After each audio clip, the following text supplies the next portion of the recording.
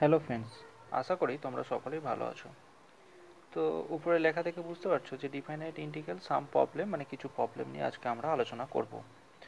তো ফার্স্ট পার্টে আমরা যে ইন্ট্রোডাকশন দিয়েছিলাম, অর্থাৎ যোগফল রূপে যে নির্দিষ্ট সমাকল ব্যাখ্যা করেছিলাম, সেখান, সেই সূত্রকে বা সেই থিওরিকে কাজে লাগিয়ে আমরা আজকে কিছু প্রবলেম নিয়ে আলোচনা করব।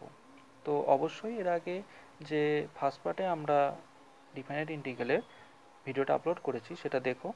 তো সেটা দেখার পর তারপরে প্রবলেমগুলো দেখো। তো ভিডিওটা ভালো লাগলে অবশ্যই বন্ধুদের মধ্যে শেয়ার করো এবং লাইক কমেন্টস করো। আর চ্যানেলে নতুন এসে থাকলে অবশ্যই চ্যানেলটা সাবস্ক্রাইব করে দিন তো আমরা শুরু করছি প্রথম প্রবলেম দিয়ে।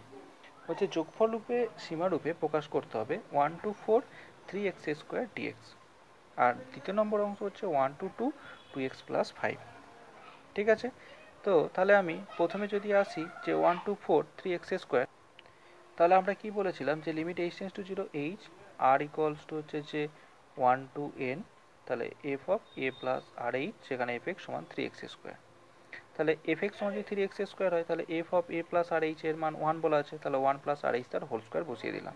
তাহলে এ প্লাস বি তার হোল স্কোয়ার সূত্র one plus two r h plus r square h square এবার সামেশনটা উভয়ে ভাগ করছি। তাহলে এই সামেশন ওয়ানের ওপর সামেশন নিলে কী হবে? এন এরপর যদি আমি এখান থেকে টু এইচ বাইরে বের করে দিই summation over r r h square বের করে দিই সামেশন ওভার আর স্কোয়ার তাহলে এই আর আর মানে n into n plus one মানে one plus two plus three তার সূত্র হচ্ছে কি? N into n plus one by two R next হচ্ছে কি? One square plus two square plus three square plus dot dot করে এল স্কোয়ার তাহলে n into n plus one into two n plus one by six আর বাইরে একটা H ছিল, সেটা লিখলাম। আর three x square যেহেতু, তাহলে এখানে থ্রিটা আমরা বাইরে বের করে দিয়েছি। ঠিক আছে? তাহলে এখানে পেলাম এন এখানে কি পাচ্ছি? টু এইচ আর এখানে টু কেটে দিয়েছি। তাহলে h n into n plus one এখানে h square n into n plus one two n plus one by six তাহলে এই এইচটাকে ভেতরে ঢোকালাম। তাহলে এন এইচ এখানে কি হলো?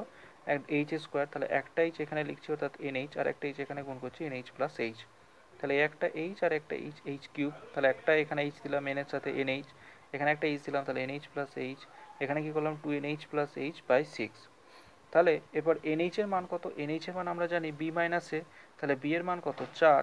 আর এ হচ্ছে যে ওয়ান তার মানে এনএইচ এর মান তিন। এরপর যেখানে যেখানে এনএইচ আছে, সেখানে এনএইচ এর মানটা বসাচ্ছি।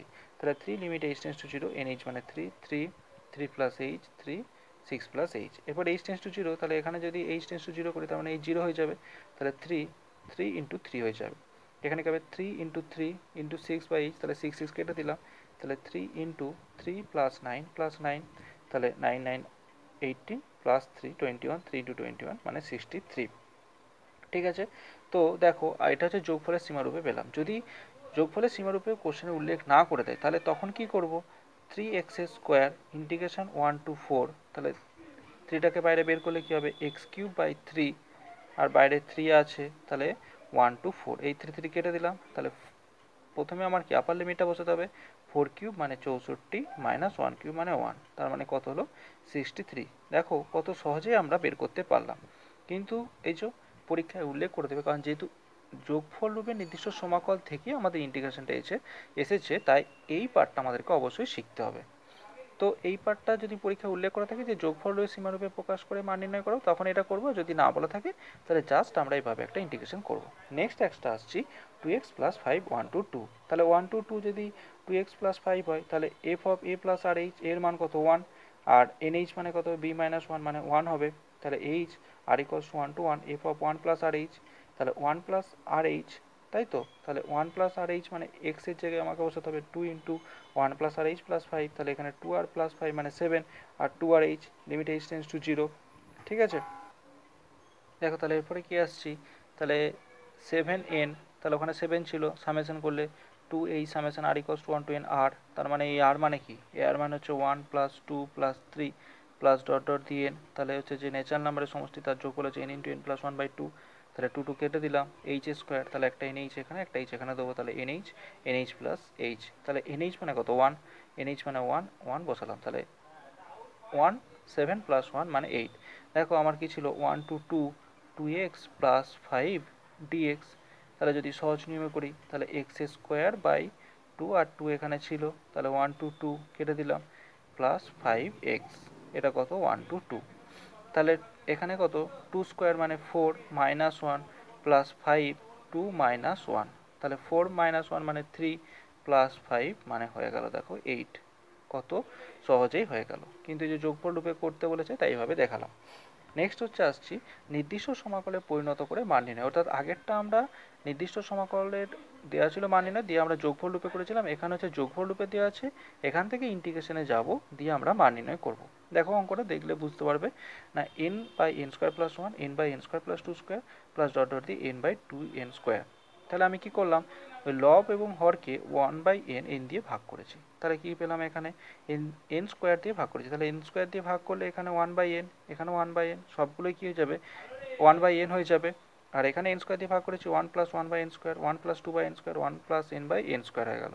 তাহলে এই ওয়ান বাই এন লব থেকে এখানে কমন নিয়ে চলে এসেছি। তাহলে one by one plus one by n whole square plus one by two by n whole square plus one by one plus n by n তার হোল স্কোয়ার দেখো এই যে ভিতরে আমি যে টার্মটাকে লিখেছি, এটাকে খুব সুন্দর করে one plus r by n তার হোল স্কোয়ার ফর্মে লিখতে পারব। আর এর মান যদি ওয়ান বসায় তাহলে এটা পাবো দুই বসালে এখানে পাবো, এখানে ওয়ান বাই এন এরপর আমরা জানি যে এন টেন্স টু ইনফিনিটি হলে এইচ টেন্স টু জিরো এটা আমরা যখন যোগফলরূপে নির্দিষ্ট সমাকল পড়েছি, তখন দেখেছি। তাহলে যেহেতু এন টু ইনফিনিটি, তাহলে এন ইকোয়াস যখন এইচ বসেছে এইচ টেন্স টু জিরো তাহলে এখানে কি করলাম? এইচ করে দিলাম one by n actually one by n সমান পুট করছি যেটা এইচ তাহলে r equals to one to n হলো? তাহলে এরপর যেহেতু আমরা যে যোগফলের সীমারূপে লিখতে পেরে গেছি, তাহলে zero to one one by one plus x square dx তাহলে লিমিটটা জিরো টু ওয়ান করেছি, কারণ এখানে আমি ওয়ান টু এন পেয়েছি বলে, তাই জিরো টু ওয়ান করেছি। তো কিছু কিছু অঙ্কের ক্ষেত্রে দেখবে ওয়ান টু ফাইভ এন থাকবে, ঠিক আছে? তখন ওয়ান টু ফাইভ বা জিরো টু এ করতে হবে। যখন আরও অঙ্ক করব, সে অঙ্কের মধ্যে দেখতে হবে এই লিমিটটা কী হবে। নেক্সট তাহলে এর ইন্টিগ্রেশন কী হয়ে? থাকে ডেরিভেটিভ এই যে one by x square dx আছে, তার ইন্টিগ্রেশন হচ্ছে টেন ইনভার্স এক্স তাহলে zero to one tan inverse one মানে পাই বাই ফোর তো আর একটা অঙ্ক নিয়ে আমরা দেখি। না, এটা কি করেছি?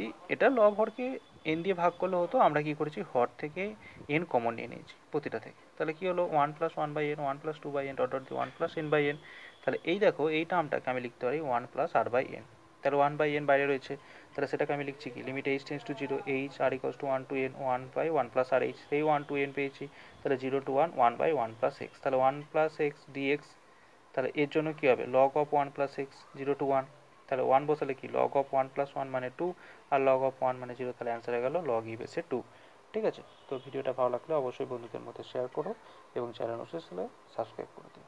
Thanks for watching